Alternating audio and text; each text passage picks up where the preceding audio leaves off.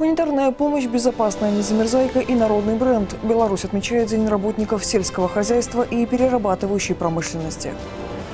Это большие итоги, самые яркие информационные акценты недели от тех, кто видел все своими глазами. Я Мария Бересневич. Мы начинаем. Кризисный центр, народное обсуждение и зимняя обувка. Через 10 дней водители будут штрафовать за летнюю резину. На что стоит обратить внимание? Пришло время платить налоги. Автовладельцы должны внести авансовый платеж до 15 декабря. Я законопослушный гражданин, поэтому обязательно заплачу налог. Кому положены льготы? Без узоров на стекле. Белорусскую незамерзайку изготавливают на заводе биотехнологий. Мы постоянно увеличиваем и выпуск омывателей, расширяем ассортимент. Что предлагают автомобилистам? Важнее всего погода в доме. В стране увеличился спрос на покупку дров. Это уже на следующую зиму. На это у меня есть. Почему сани лучше готовить летом?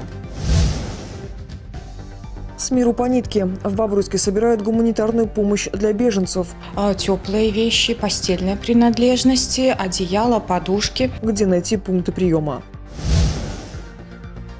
Мощный торнадо, экологический карантин и шокирующий приговор. В США признали невиновным подростка, который застрелил двух человек. Почему убийца на свободе? Национальные бренды. Беларусь отмечает День работников сельского хозяйства и перерабатывающей промышленности. Это профессиональный праздник тех, благодаря кому у нас есть что поставить на стол – хлеб, мясо, молоко, овощи, фрукты. В каждом румяном каравае частичка нелегкого труда тысяч сельских тружеников и сотрудников предприятий, которые производят богатый ассортимент высококачественных товаров.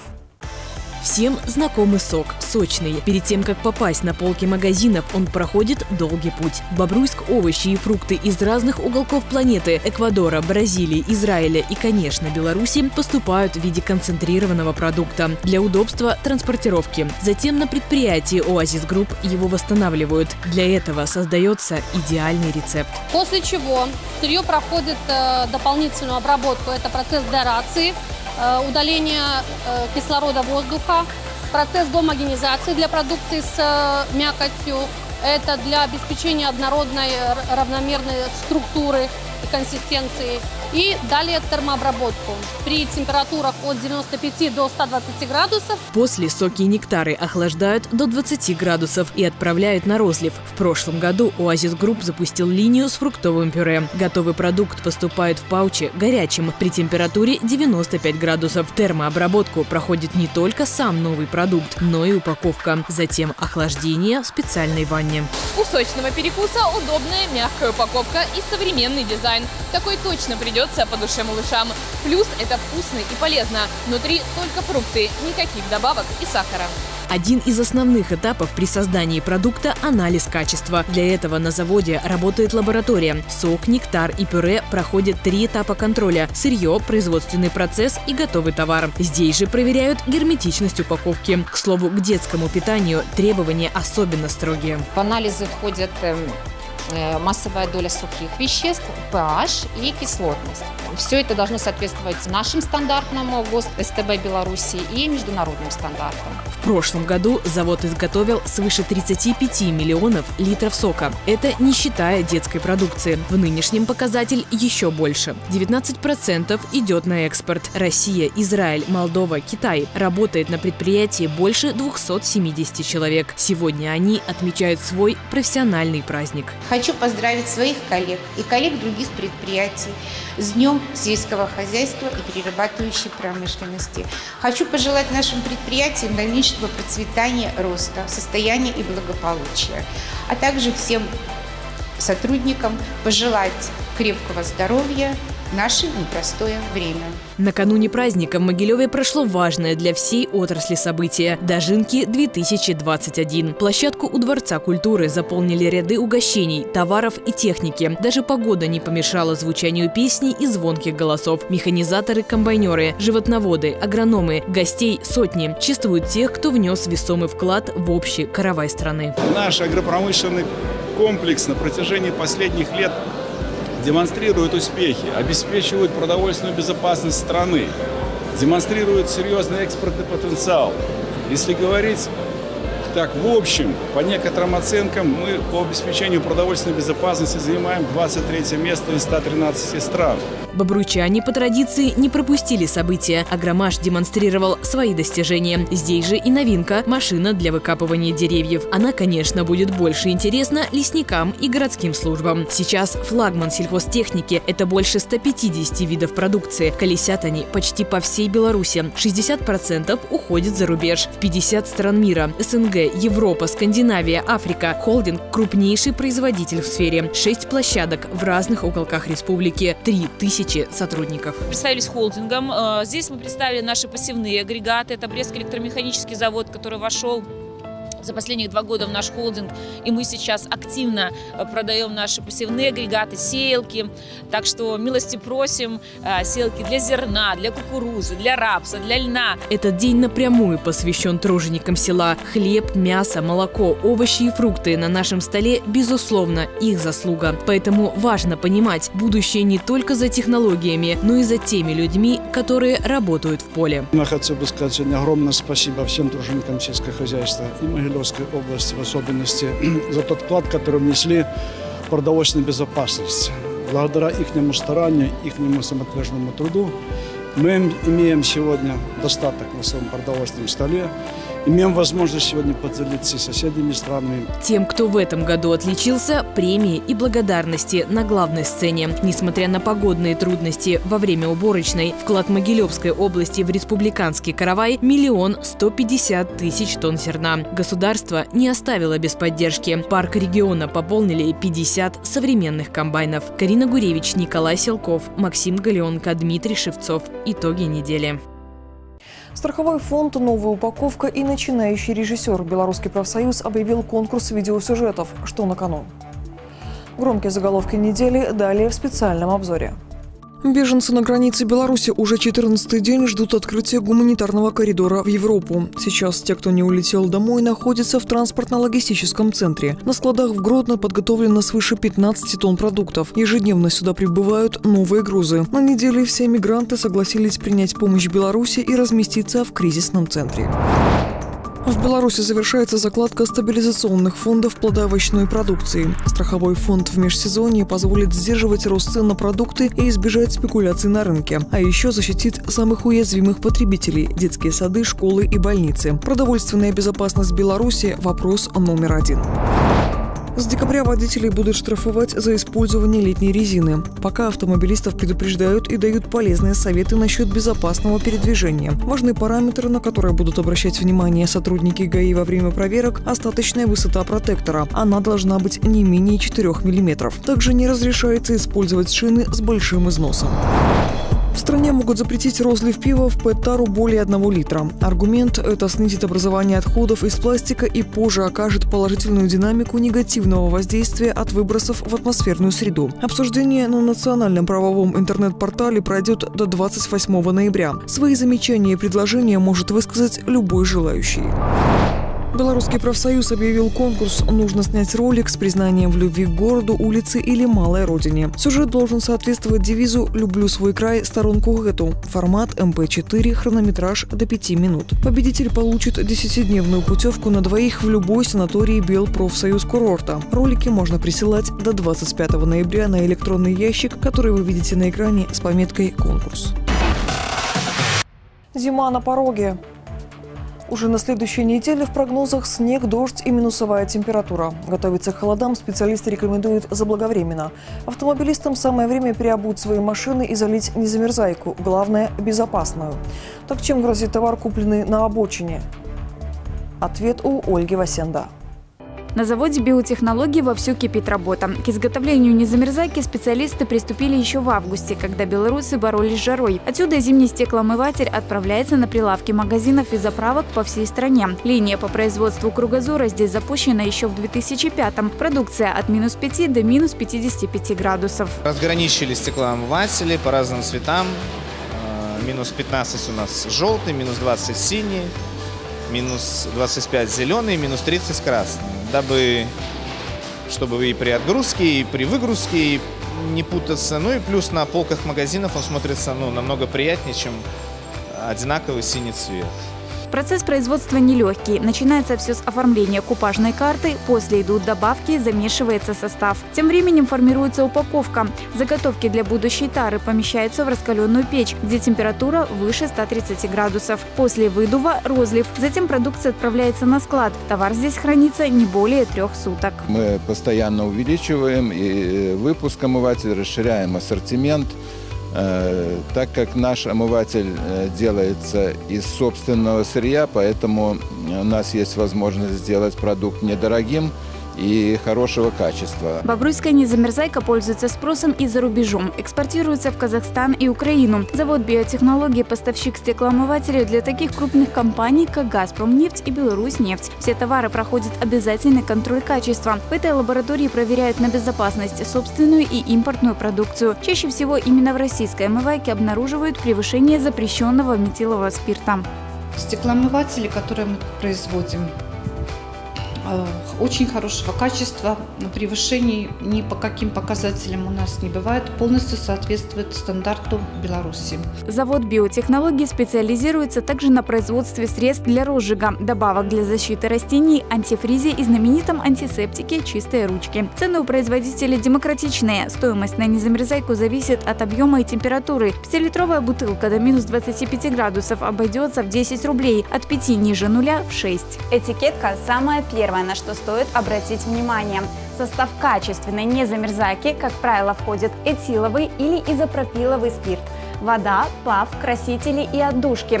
Проверьте также дату изготовления и срок годности. Недобросовестные производители за основу чаще всего берут запрещенный метанол. Пары этого спирта могут привести к головокружению, слепоте, расстройству нервной системы или даже к смерти. Отличить его от чистого этанола без проведения лабораторных исследований практически невозможно. Поэтому, прежде чем купить дешевую стекломывающую жидкость с обочины, стоит еще раз подумать, оправдана ли сомнительная экономия. Ольга Васенда, Дмитрий Шевцов. Итоги недели.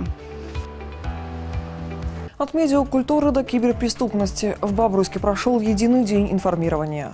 Ведущая тема – осознанное потребление в сети. 85% белорусов – активные пользователи интернета и, в частности, мессенджеров. Причем люди не только смотрят фильмы и общаются, но и читают новости, не всегда достоверные. С каждым днем а, мы видим расширение интернет-пространства, в том числе переход э, СМИ в интернет. И здесь э, возникает целый ряд вопросов и проблем, которые необходимо решать. То есть это безопасность СМИ, это чтобы интернет не имел такого влияния, скажем так, негативного и на жизнь человека, и на жизнь его близких, в том числе особенно детей. На повестке и киберпреступность. Ее обсудили с коллективом автобусного парка. Кражи в сети фиксируют чуть ли не ежедневно. Причем жертвами мошенников становятся не только пенсионеры, но и молодежь. В ряду вечно актуальных вопросов – дети, их здоровье и безопасность. Дедлайн близко. До внесения авансового платежа по транспортному сбору осталось меньше месяца. Заплатить его нужно до 15 декабря. Извещения собственникам авто отправлены. В силе и льготы для раритетных машин, электромобилей, скидки для пенсионеров и многие другие. В нюансах разбиралась Карина Гуревич. Белорусам осталось меньше месяца до внесения авансового платежа. В этом году кошелек автовладельцев похудеет незначительно. За машину придется заплатить 29 рублей, за прицеп и мотоцикл – 20. Внести сумму нужно не позднее 15 декабря. Транспортный налог привязан непосредственно к факту наличия автомобиля. Ездит он или нет, неважно, платить все равно придется. Произвести доплату э, транспортного налога за 2021 год необходимо будет по сроку 15 ноября 2022 года по извещению налогового органа, которое будет вручено не позднее 1 сентября 2022 года.